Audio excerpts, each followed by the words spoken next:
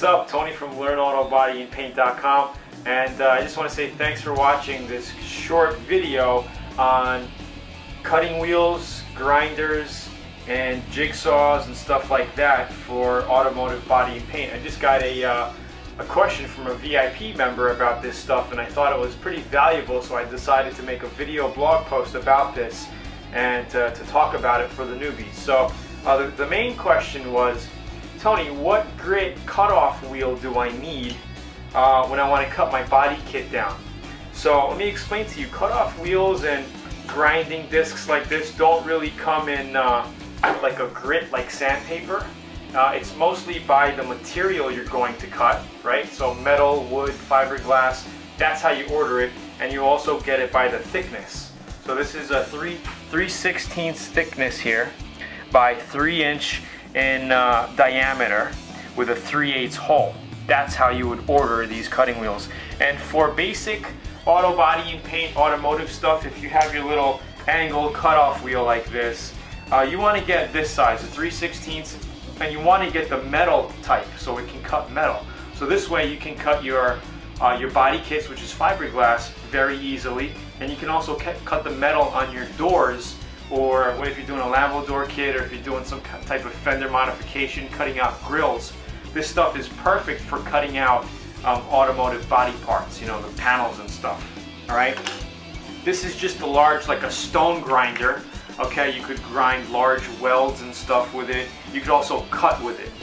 So let me just basically show you how to replace these discs. All right, so it's just pretty simple. As you as you use these, you can see that it wears down. Look at the size difference here.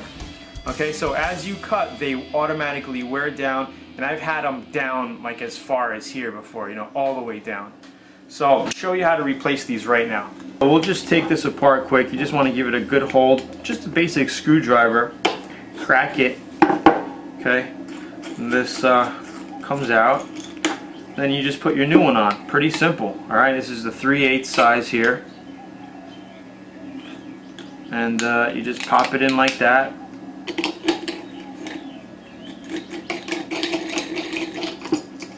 Give it a good tighten.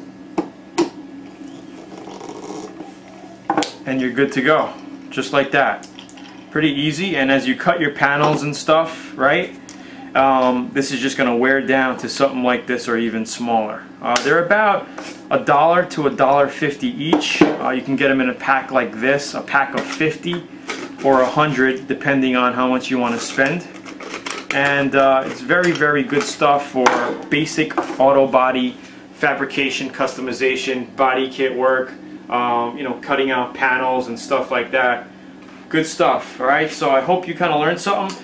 Here I have a, a, Porter cable jigsaw here. You could put metal blades on here for a jigsaw. And it's just another type of cutting tool where you could just cut into gems and cut areas out. It comes in handy uh, with this. I actually got this pair at a, at a local swap meet maybe about eight years ago. Pretty cheap. I, I don't think I paid more than 50 or 60 bucks for the set. And uh, I mean nowadays with Harbor Freight you can get them really cheap if you're on a budget. Alright, so pretty cool stuff. Uh, I hope you learned something. Uh, share the video if you liked it. Like it. Uh, comment below if you're on uh, YouTube.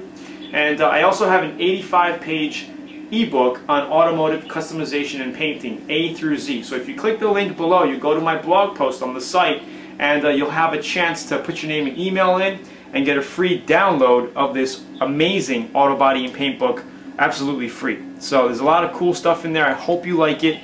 I will see you at learnautobodyandpaint.com. Have a great day. Bye-bye.